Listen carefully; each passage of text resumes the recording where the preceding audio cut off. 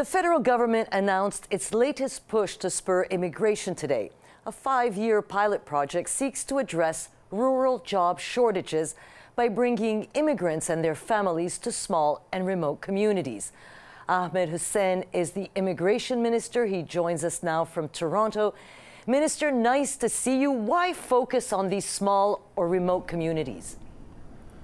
Because uh, rural and northern uh, Canadian communities provide uh, almost 30% of our GDP in Canada, but 78% of all newcomers to Canada go and settle in the large urban centers. So uh, employers and uh, municipal leaders and others have been telling us that they need uh, people to come and fill unfilled jobs in rural and northern communities, as well as retain people uh, in northern and rural communities.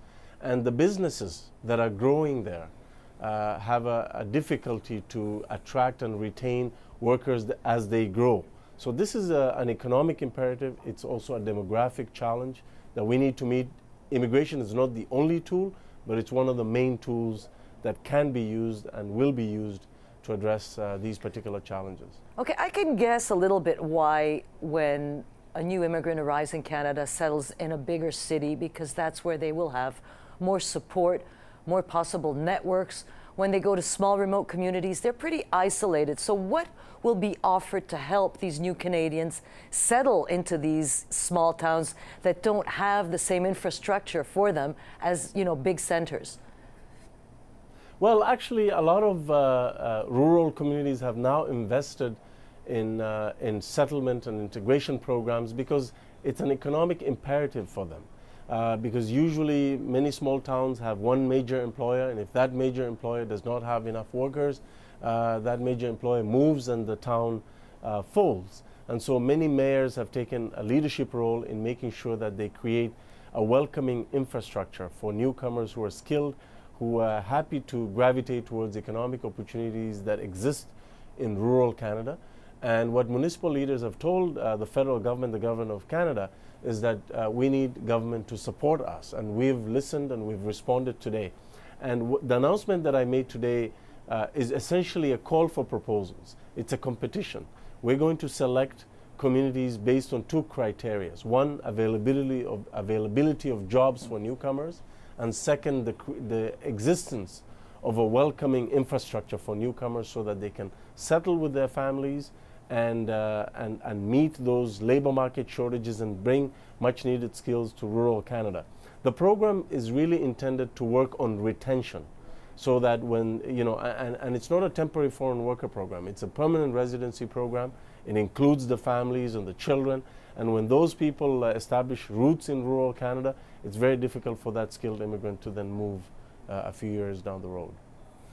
Well, we'll see, you know, how the success of, of, of, this program works. But I want to ask you this. You were, you were very critical this week of one conservative suggestion that the whole Canadian border be declared an official point of entry. Now, this to avoid giving status to border crossers. You know, there is a controversial issue because these border crossers would then be automatically denied refugee status in Canada, would be able to turn them away.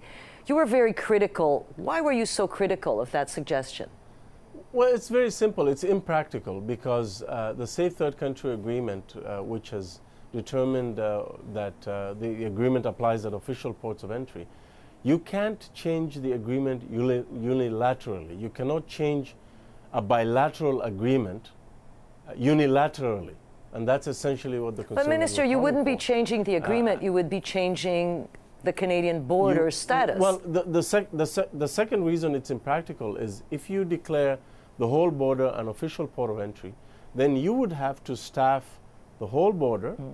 uh, with uh, law enforcement officials in the same way that official ports of entry at the, at the current time are staffed by law enforcement officials. So that's what uh, I was referring to. But, uh, you know, for further details, I think you should uh, direct that question to our border security minister, who will be happy to uh, engage uh, with you on that issue. And, and he has been engaging his Amer American counterparts on addressing uh, the issue of modernization of the Safe Third Country Agreement in a responsible manner, not in an impractical manner uh, as the Conservatives are suggesting. I, want to get also to, to, to another issue. Um, you were in mm-hmm. Quebec last week for the cabinet uh, for the cabinet retreat. Um, and and. Quebec is calling for more autonomy over immigration in the province. Now, the Prime Minister has signaled a willingness to work with Quebec on this issue. So, how much leeway should the province get? Well, uh, as you know, uh, the issue of immigration in Quebec is governed by the Canada-Quebec Immigration Accord. Uh, it's an accord that has been in place for decades. It's a, it's, it's a very, very good accord uh, that uh, aims uh, and, and results in collaboration between Canada and Quebec on economic immigrants. And of course, as a government, you know, we value the collaboration that we've had with the province of Quebec. Uh, the, uh, Canadi- uh, the Canadian uh, Federation of Independent Business, uh, which looks at labor shortages across the country, has identified that Quebec needs 100,000 workers, 100,000 workers, and immigration is one of the ways to, to address that labor shortage. Yeah, yeah, but um, I'm wondering this. So, so, how can you suggest that one province lower immigration levels or accept this while your government promotes increasing uh, immigration?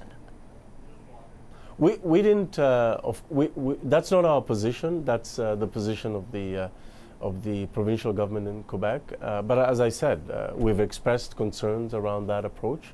Our approach is different. We've grown immigration levels every single year that we've been in office because that's what employers have been asking us to do. That's what Canadian municipal leaders have been asking us to do.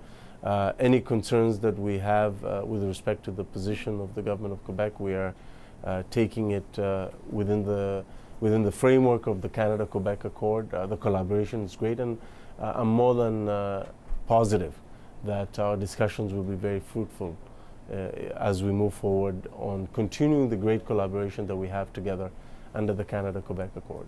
I'm just guessing, but immigration and refugees will certainly come up in the next uh, federal election campaign, I'm sure. Ahmed Hussen in Toronto, thanks so much for being with us. Thank you for having me. Appreciate it.